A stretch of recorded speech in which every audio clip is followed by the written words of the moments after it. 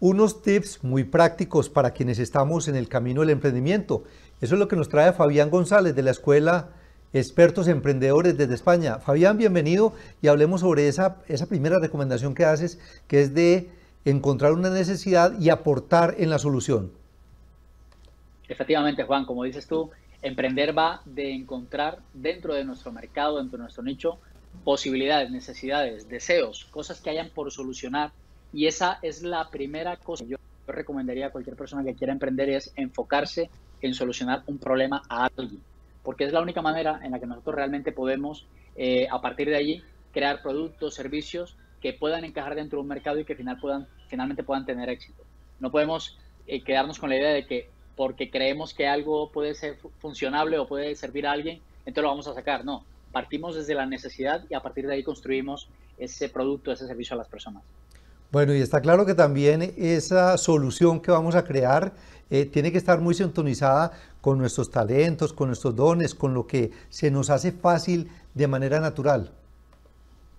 Efectivamente, o sea, una de las cosas que ha traído todo ese cambio eh, generacional es que las personas ubiquen eh, sintonía entre esa necesidad y aquello que naturalmente se les da bien, dones, habilidades, experiencias que esta persona tenga y pueda aportar muchísimo más valor porque no hay nada que destroce más el emprendimiento de alguien que empieza que esté haciendo algo que de entrada no le gusta. De hecho, la gente que emprende lo que busca es dedicarse a algo que le guste. Pues qué mejor que nosotros podamos enfocarnos en algo que se nos da bien naturalmente, en algo que disfrutamos hacer, por lo que sentimos pasión, y eso evidentemente a la hora de solucionar un problema, los clientes lo van a notar y es lo que va a marcar la diferencia entre una persona que tiene éxito y otra que no lo tiene dentro de ese proyecto emprendedor. Así que que sintonice perfectamente con tus dones, habilidades para que ese proyecto tenga alma dentro.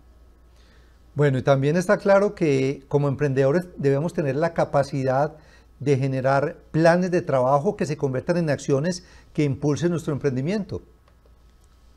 Efectivamente, uno de los grandes problemas que los emprendedores tienen es que viven mucho de ilusiones, de intenciones, pero a la hora de la verdad, cuando se ponen en marcha, pues les cuesta arrancar, no saben por dónde empezar, no tienen definida una estrategia y creo que una de las formas en las que tenemos para pasar del dicho al hecho, como dice el dicho, ¿no? Del dicho al hecho hay mucho trecho. Ese trecho nosotros lo podemos llenar armando un plan de acción, una estructura que nos permita definir las áreas claves de la empresa, definir cuáles son los proyectos a través de, de, los cuales voy a solucionar esos problemas y empezar a trabajar con mi agenda al final en función de esos objetivos. Cuéntanos muy brevemente, Fabián, en qué consiste Escuela de Expertos Emprendedores. Bueno, la Escuela de Expertos Emprendedores es un proyecto que nació en el año 2012, que se ha ido formando a lo largo de, lo que ha sido mi experiencia personal como emprendedor. Y básicamente lo que ayuda es a las personas a que esas personas que tienen un conocimiento, una experiencia, una expertise en algo, finalmente puedan concretar ese conocimiento en un proyecto emprendedor. Por eso se llama expertos emprendedores. Personas que son conocedoras de un tema concreto, saben de algo y finalmente terminan viviendo de ello porque emprenden a raíz de ese conocimiento. Importante, Fabián, que nos expliques cuál es esa metodología que utilizas para formar a esos emprendedores. Claro que sí, la, la, metodología básicamente tiene tres fases, una fase de creación, una fase de posicionamiento y otra fase de monetización. En la fase de creación es encontrar ese propósito, definir un pitch, un discurso. En la fase de posicionamiento es cómo gestionar las redes sociales, cómo publicar, cómo hablar en público. Y luego la parte de monetización tiene la parte de crear productos, cómo crear los procesos de tu empresa, gestionar mejor tu productividad, hacer una buena promoción y ventas y por último gestionar mejor nuestro profit, que es una palabra inglesa para decir nuestro dinero, nuestras finanzas. Esas 10 claves, esos 10 pasos son los que necesitamos para construir, crear, posicionar y monetizar esa marca personal, ese conocimiento, ese expertise. bueno, háblanos de tu faceta de, de, emprendedor que escribe libros y cuáles han sido esas producciones. Sí, mira, pues el, digamos que el primer gran ejemplo de un experto emprendedor es mi caso, porque fue la experiencia desde el año 2012 cuando salí de Colombia, perdón, el 2010 que salí de Colombia, porque estaba en un trabajo que no me gustaba y al final eh, me fui para Londres, estuve viviendo cuatro años, luego escribí mi primer libro en el año 2012 y ese libro literalmente cambió mi vida después de haber hecho casi cuatro carreras académicas. Y hoy, pues básicamente lo que te puedo decir es que desde el año 2012 ese libro trajo una secuencia de proyectos, de emprendimientos, de conferencias y terminó convirtiéndose en la empresa que hoy tenemos, que es Escuela de Expertos Emprendedores. Por el camino, pues he escrito, perdón, he escrito, cuatro libros, uno de ellos, eh, Tu marca profesional, eh, otro se llama La marca del emprendedor, ¿Por qué creer en España? Yo 3.0, que es una autobiografía, y el último, te doy primicia ahí, Juan, que estamos escribiendo, que si Dios quiere lo publicaremos en, en un par de meses, se llama La Agenda de Cuarta Generación, que está enfocado en el tema de la productividad. Qué bueno, qué interesante. ¿Y cuál de esos libros es el que más le recomiendas a quienes estamos emprendiendo? Pues mira, yo, eh, eh, digamos, hay, dos, hay dos caminos, ¿no? El camino de eh, defino cuál es esa experiencia, ese conocimiento, ese expertise que yo tengo, ¿vale? Eso hay que definirlo muy bien, crear ese mensaje concretamente, que sepas qué es lo que vas a decir, digamos, en las redes sociales.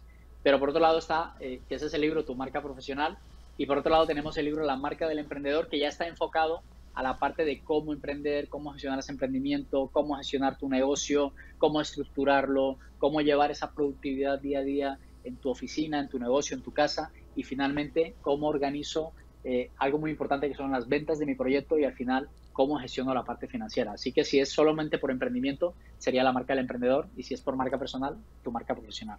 Pero ya nos quedó claro que eso hay que combinarlo, o sea, los emprendedores tenemos que fortalecer también mucho nuestra marca personal, profesional. Eh, Fabián, ¿dónde, ¿dónde, están esos emprendedores que te siguen en la, en la escuela, que participan de las actividades? Porque pues estamos en un mundo globalizado, entonces sabemos que tus alumnos están en diferentes continentes. Así es, o sea, inicialmente, eh, viéndolo estadísticamente desde mis redes sociales, básicamente Inglaterra, España, México, Colombia y Perú, digamos que es como el, el gran las personas que nos siguen y que son parte de nuestra escuela vienen de estos países. Y ya pues el resto se divide en otros países de Latinoamérica, incluso alguna gente que está en los Estados Unidos, en la zona de Miami. Pero es básicamente el grupo de las personas a las que atendemos en nuestra escuela, con nuestros contenidos, con todo lo que hacemos. ¿Cuál es tu mensaje final para los emprendedores que ven nuestro programa Negocios en tu Mundo, que lo ven en televisión, que lo ven en nuestro canal de YouTube? Yo, Juan, diría a todas las personas que nos ven es que estamos en el mejor momento de la historia para iniciar proyectos emprendedores o proyectos paralelos a nuestro trabajo, a lo que ya alguien hace por cuenta ajena. Tenemos todos los recursos, todas las herramientas y que lo único que necesitamos son buenas ideas para solucionar problemas ahí fuera, que muchos problemas son los que hay y tenemos nosotros que entrar ahí a solucionarlo. Así que no hay ni mejor momento en la historia como este que estamos viviendo hoy por hoy para el emprendimiento. De verdad, Fabián, que es un gusto tenerte con nosotros acá y espero que no sea la primera vez, sino que vengan muchas más. Claro que sí, Juan, yo encantado de estar, gracias de verdad por la invitación y espero que sea de utilidad para todas las personas que te siguen y te escuchen hablando de esos temas tan importantes. Que os invito a que sigamos en contacto a través de las redes, arroba Fabián González H o el canal de YouTube Fabián González, ahí perfectamente me encuentran también. Qué bueno, claro que sí, Fabián. Estoy seguro que esos contenidos serán muy útiles. Este es Negocios en tu Mundo, inspiración para la acción consciente.